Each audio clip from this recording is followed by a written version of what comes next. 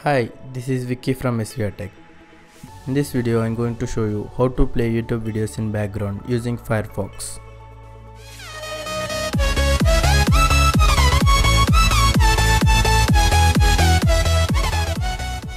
This is second video on how to play YouTube videos in background. So to play YouTube videos in background using Firefox, we need to install it from the Play Store. After installing Firefox from the Play Store, just open it and go to YouTube. Search for music which you want to play in background.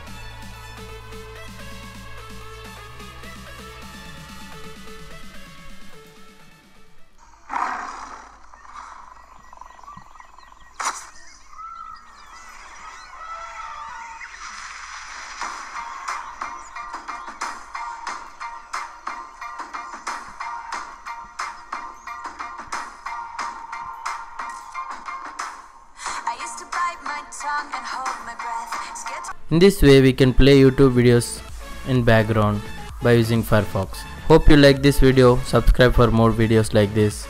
Share this video on your Facebook so your friends may also know about it. This is Vicky from SVR Tech. Thank you.